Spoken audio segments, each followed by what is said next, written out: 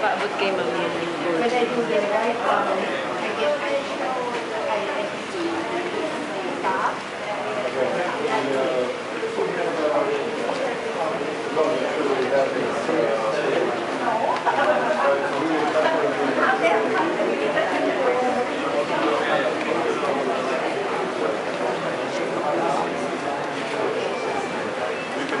I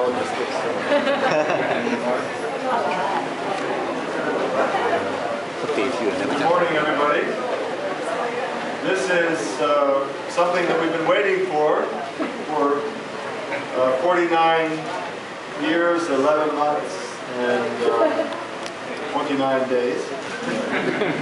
this is the opening of IRRI's official 50th celebration. This will be a celebration that will begin from this moment with the cutting of the ribbon until a full 12 months to the end of our 50th year. I think it is, uh, uh, it's only appropriate that with His Majesty the King of Thailand as our patron, with uh, a first board member, member coming from Thailand, and as I recalled this morning, uh, you will recall that we have talked about the development of uh, the first semi-dwarf variety IR8 that Peter Jennings and Hank Beachell developed.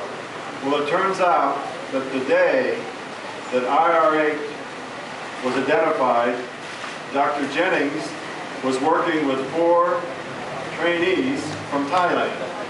And those four trainees from Thailand went out with Dr. Jennings to the field and they counted the number of semi-dwarfs in the field, in the, in the population, and determined that the population from which IR8 was selected, that the semi-dwarf was caused by a recessive gene.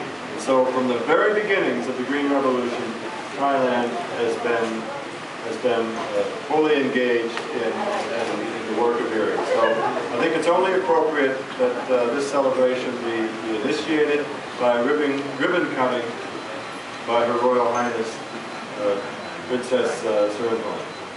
Uh, it's been a great pleasure for me to be able to spend the last day uh, and a half with the princess. I found her to be the most charming companion, uh, besides my wife, of course. and uh, it's my pleasure to, to invite, uh, invite her to the microphone to make a few remarks. Royal Highness. Director General of Uni, ladies and gentlemen. I'm, I'm shocked. it is an honor for me to be here to- today open the exhibition marking the 50th anniversary of the International Rice Research Institute. IRRI. IRRI has grown remarkably throughout the 50 years, and I'm proud to be to be given the opportunity to inaugurate its celebrations. Rice is the backbone of Thai society and countries of Southeast Asia, and therefore it, its development is paramount to the development of the country. Majesty the King, my father, became patron of this institute in 1997.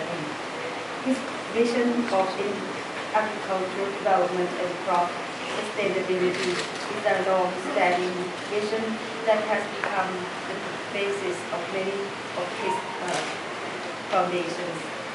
I believe that the work that IRRI has produced over a year, ha- over the years, has benefited the well-being of people across the globe in terms of food security and income.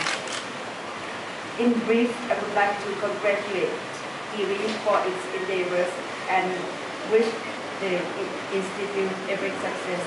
Thank you.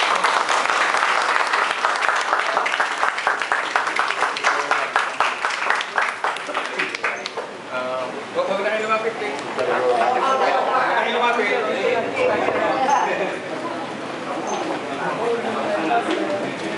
Huwag na para... Oh, that's tricky. Um, Francis, Okay, uh, where to cut? Ah, it's a decision.